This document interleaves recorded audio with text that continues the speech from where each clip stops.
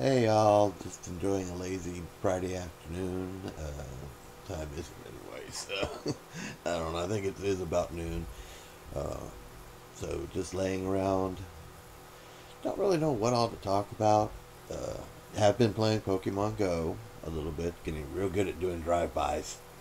And no, that is not shooting at people as you drive by. That's hitting Pokestops as I drive drive by and catch getting stuff, as well as catching uh, Pokemon while driving. So I've been getting really good at that. I'm currently level nine, uh, fixing to be level ten very soon. Uh, Team Mystic, though not by my own choice. The game glitched.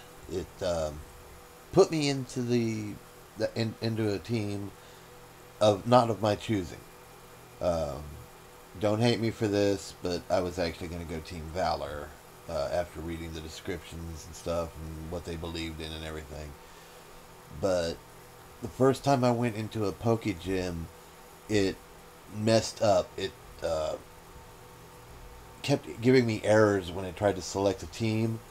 So apparently, when the game fixed, when they fixed the tweak, it registered all these attempts of mine to join a team, and uh, it uh,